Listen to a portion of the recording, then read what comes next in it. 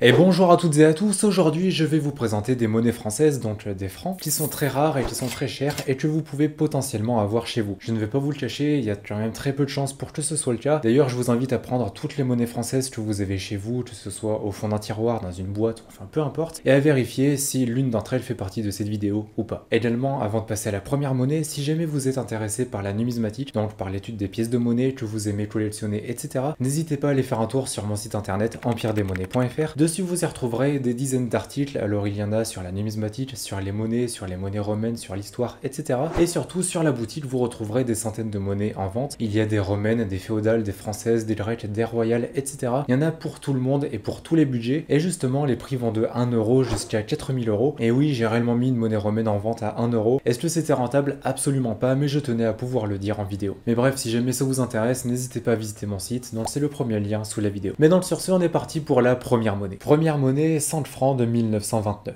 Alors voici la monnaie en question, il s'agit ici d'une 100 francs Turin de 1929, et c'est bien sûr un essai comme vous pouvez le voir à la mention essai qui est indiqué sous la valeur faciale. Également je précise que toutes les photos ne m'appartiennent pas, c'est pourquoi je vous mettrai toutes les sources dans la description, comme ça si jamais vous souhaitez en savoir plus, si vous souhaitez vérifier les informations, etc., eh bien vous pourrez le faire directement. Donc ici c'est une monnaie qui va être très rare, parce que évidemment c'est un essai, mais surtout c'est une 100 francs Turin. Normalement on connaît les 10 francs Turin, on connaît les 20 francs Turin, mais on ne connaît pas les 100 francs. Et personnellement, c'est une monnaie que je ne connaissais pas, enfin du moins je ne la connaissais pas avant de tourner cette vidéo. C'est donc bien sûr une monnaie qui va être très rare par rapport à ça, puisque des essais de ce type, il n'en existe que quelques exemplaires dans le monde, donc je vous laisse imaginer à quel point c'est une monnaie qui va être rare. Et à côté de ça, c'est une monnaie également qui va être dans un état quasiment parfait, puisqu'elle est classée en MS66+, donc ce par PCGS, ce qui veut dire qu'elle est vraiment en état quasiment parfait, puisque le maximum c'est 70. Mais sinon pour la description, sur la verre vous pouvez voir la tête lorée de la République, et sur le revers, vous pouvez voir au centre la valeur faciale ainsi que la date de frappe. En dessous se trouve la devise française, et le tout est entouré par deux épis. Également, vous pouvez voir, comme je vous en ai parlé juste avant, le mot essai pour indiquer que c'est une pièce d'essai. Et au niveau des caractéristiques, c'est une monnaie qui est en nickel, et elle fait 5 grammes pour 24 mm de diamètre. Mais sinon, par rapport à son prix, c'est une monnaie qui a été vendue en avril 2023 pour la somme de 1000 euros.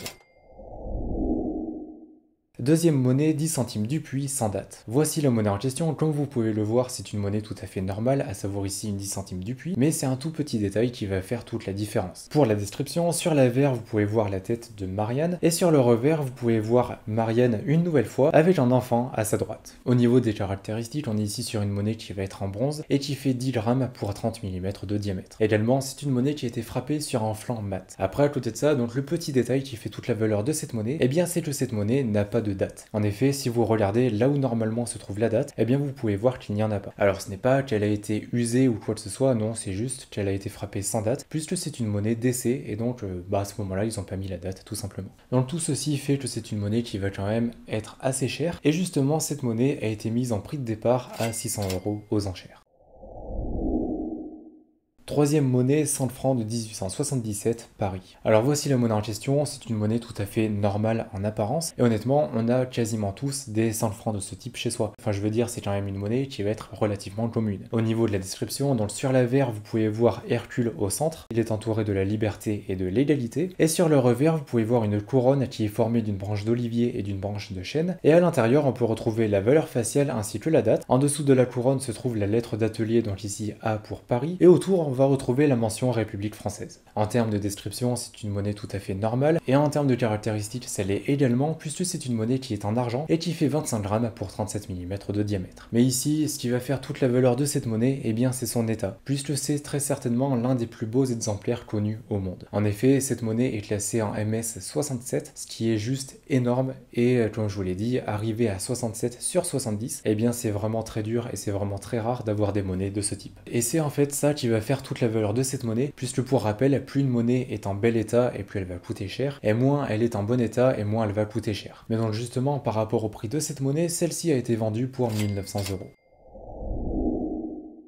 Quatrième monnaie, 2 francs de Napoléon III de 1866, Paris. Alors voici la monnaie en question. Ici, c'est une monnaie qui va une nouvelle fois avoir un tout petit détail qui va faire toute la différence. Alors pour la description, c'est une monnaie tout à fait normale. Sur l'avers, vous pouvez voir la tête à gauche de Napoléon III. Et sur le revers, vous allez avoir au centre un aigle qui est posé sur un foudre. Il est entouré de la Légion d'honneur. Et à côté de ça, on va avoir quand même pas mal de symboles qui font référence au pouvoir, à Napoléon III, etc. À savoir le manteau, les sceptres et tout ça. Je vais pas tout détailler non plus parce que la vidéo va être un peu longue mais sachez que c'est une description tout à fait normale, enfin du moins c'est un design tout à fait normal. Mais bref, ici ce qui nous intéresse, c'est évidemment ce petit détail qui va faire toute la valeur de la monnaie, et ce détail se trouve au niveau de la lettre d'atelier. En effet, si vous regardez là où se trouve la lettre d'atelier, eh bien vous pouvez voir qu'à la place d'un A, donc pour Paris, est inscrit un E. Alors, il y a un E, je ne sais pas honnêtement pourquoi, je suppose que c'est pour essai, mais du coup en fait cette monnaie indique que c'est un essai et que c'était eh bien la première d'une longue série de monnaies, et donc c'est tout ça qui va faire la différence. Donc si jamais vous avez des 2 francs Napoléon, vérifiez quand même, on ne sait jamais, peut-être que vous pouvez tomber sur une monnaie qui va avoir un E à la place d'un A ou d'un B par exemple. Et donc c'est tout ça qui va faire la valeur de cette monnaie. On va également avoir quand même l'état qui va y jouer, puisque cette monnaie est classée en SPL 63, donc on est sur un état qui est quand même pas mal. Mais bref, en termes de prix, eh bien cette monnaie est actuellement en vente pour 6600 euros. Petite pause, si jamais ce n'est toujours pas fait, bien sûr, n'oubliez pas de mettre un pouce bleu et de vous abonner. Moi, ça me soutiendra énormément et vous, ça vous permettra de ne rater aucune autre vidéo. Mais donc, j'espère que c'est fait chez tout le monde et donc on est parti pour la prochaine monnaie. Cinquième monnaie, un franc morlon. Alors, voici la monnaie en question. Si vous connaissez un petit peu les monnaies françaises et tout, vous pouvez le voir directement qu'il y a quelque chose qui ne va pas. En effet, cette monnaie est une monnaie hybride, c'est-à-dire qu'elle va combiner deux monnaies en même temps. En effet, elle va combiner une en franc morlon classique, comme celle-ci, avec une en franc chambre du commerce comme celle-ci. Donc voilà, vous pouvez le voir, l'avers et le revers sont différents et donc les deux monnaies sont combinées entre elles. Et c'est ça bien sûr qui va faire toute la valeur de cette monnaie puisqu'il s'agit d'une frappe spéciale, d'une épreuve et c'est évidemment quelque chose qui est vraiment très rare. Mais sinon ici pour les caractéristiques, c'est une monnaie qui est en cupronickel qui fait 4,1 grammes et ce pour 23 mm de diamètre. Mais bref là c'est pas vraiment ce qui nous intéresse, c'est vraiment plus la monnaie en elle-même, enfin plus le fait que ce soit une monnaie hybride. Également comme je vous l'ai dit précédemment, plus une monnaie va être en bel état et plus elle va coûter cher et celle-ci est classée en SP64. Donc une nouvelle fois, elle est vraiment en très très bel état. Et enfin, par rapport à son prix, cette monnaie s'est vendue pour 1600 euros. Sixième monnaie, 20 francs Turin de 1939. Alors voici la monnaie en question, c'est une monnaie qui est tout à fait banale. En fait, elle n'a absolument rien de spécial à part sa date. En effet, c'est une monnaie donc de 20 francs Turin de 1939, et il faut savoir que ce millésime, donc la date de 1939, est très rare. Et c'est ça qui va faire toute la valeur de cette monnaie. Également, il y a l'état évidemment qui joue, mais ça j'y reviens juste après. Au niveau de la description, comme précédemment, et eh bien sur l'avers, vous pouvez voir la tête de la République, et sur le revers, vous allez avoir la date, la valeur faciale, etc. Le tout entouré par deux épis. Et sinon, pour les caractéristiques, c'est bien sûr une monnaie qui est en argent à 680 pour 1000 et elle pèse 19,93 grammes, c'est très précis, pour 35 mm de diamètre. Et aussi quelque chose qui va faire que c'est une monnaie qui est chère, et eh bien ça va être son état, puisque déjà c'est une monnaie qui est rare, plus les monnaies sont rares et plus c'est dur de les avoir en très bel état, et celle-ci est classée en superbe 61. Donc ça en fait une monnaie qui est quand même dans un état assez sympa. Mais bref, par rapport à son prix, cette monnaie est actuellement en vente pour 9900 euros. Septième monnaie, et c'est de la 50 centimes sommeuse de 1897. Alors voici la monnaie en question. Pour ceux qui ont l'œil le plus avisé, vous allez voir que cette monnaie n'a rien de banal et que c'est pas une 50 centimes tout à fait classique comme on peut en rencontrer quasiment tous les jours. En effet, alors pour rappel, les 50 centimes sont de toutes petites monnaies qui vont faire normalement, j'ai plus les chiffres en tête, mais dans les 1 gramme et demi d'argent pour peut-être 18 mm de diamètre. Mais ici ce n'est pas du tout le cas puisque cette monnaie a été frappée sur un module de 5 francs. C'est-à-dire que cette monnaie fait 29 mm de diamètre pour 12 grammes et qu'elle est bien sûr également en argent. Donc voilà, ça en fait une monnaie, on va pas dire hybride non plus, mais ça en fait une monnaie d'essai qui est juste une nouvelle fois je trouve incroyable. Enfin du moins je trouve ça quand même assez intéressant de voir une 50 centimes croisée avec une monnaie de 5 francs. Mais sinon au niveau de la description, sur l'avers vous pouvez voir la semeuse en train de semer et sur le revers vous pouvez voir la valeur faciale 50 centimes avec en dessous un bouquet de branches d'olivier, la date de frappe, la devise française, etc. Sinon au niveau de son état et de sa rareté, c'est une monnaie qui est classée en SPL 64 et au niveau de la rareté, eh bien on n'a pas de chiffres, donc on peut estimer qu'il y en a peut-être quelques dizaines. Honnêtement, j'en ai aucune idée, mais c'est vraiment une monnaie qui va être très rare. Mais sinon, donc par rapport à son prix, cette monnaie est en vente pour 12 000 euros.